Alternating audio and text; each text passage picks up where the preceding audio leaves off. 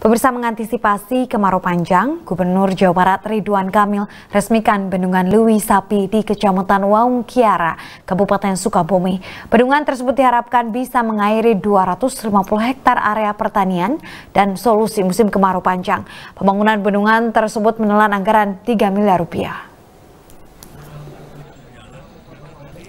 Bendungan Lewi Sapi di Kecamatan Warung Kiara ini diharapkan dapat meningkatkan perekonomian petani di Kabupaten Sukabumi. Bendungan atau irigasi yang diresmikan langsung oleh Gubernur Jawa Barat Ridwan Kamil dapat mengairi area pertanian seluas 250 hektar. Sehingga tingkat produksi pertanian yang biasanya menghasilkan 675 ton dari area 75 hektar, dengan bendungan ini mampu menghasilkan panen 3.750 ton. Pihaknya juga mengklaim sudah menyiapkan tujuh bendungan strategis dan skala nasional yang bisa mengantisipasi banjir baik di Jakarta maupun beberapa daerah di Jawa Barat.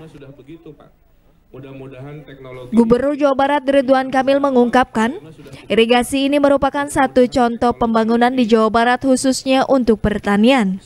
Keberadaan bendungan ini diharapkan bisa dikolaborasikan dengan wisata dan ke depannya pemerintah provinsi akan membantu untuk penataan lokasi. Dari program pembangunan embung-embung untuk irigasi, untuk kemajuan pertanian, ini adalah contoh dengan skala lokal kita bisa meningkatkan persawahan yang diairi dari 75 hektar menjadi 250 hektar dari 675 ton menjadi 3.750 ton mudah-mudahan ini menjadikan sebuah contoh bahwa pembangunan di uh, Jawa Barat di Sukabumi banyak fokus di pertanian. Saat ini Pemprov Jabar tengah fokus untuk pembangunan desa Sebanyak 60% program pemerintah tengah digalakan di seluruh wilayah di daerah Jawa Barat. Di antaranya desa digital, satu desa, satu perusahaan, satu pesantren, satu produk, dan kredit mesra di masjid. Budi Setiawan, Bandung TV